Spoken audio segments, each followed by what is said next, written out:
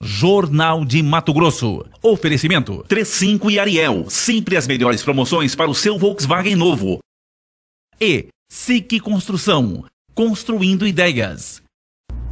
A arte sacra de alguns artistas matogrossenses está saindo das salas do Museu da Capital e indo para os muros da cidade. 15 quadros de expressões artísticas diferentes centram-se na fonte inspiradora da Via Sacra, com suas 15 passagens representando episódios marcantes da vida de Jesus.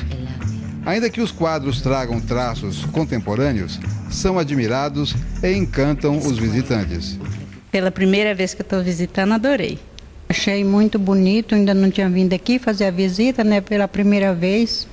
Fiquei muito feliz. Dez dos 15 quadros que compõem a Via Sacra contemporânea vão ser reunidos num painel único no muro do entorno da Igreja do Bom Despacho e Seminário da Nossa Senhora da Conceição. Dez obras belíssimas que foram compostas por cinco artistas plásticos, que é o Benedito Nunes, o Gervani de Paula, a Regina Pena, o Adir Sodré e o Jonas Barros, que foram selecionados pela curadoria do projeto, que é a Aline Figueiredo.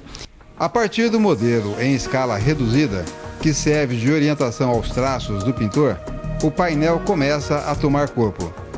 Depois de pronto, promete ser uma bela intervenção urbana, capaz de atrair mais visitantes ao Museu de Arte Sacra e à Igreja do Bom Despacho, e ainda completar o projeto da Associação dos Produtores Culturais de Mato Grosso.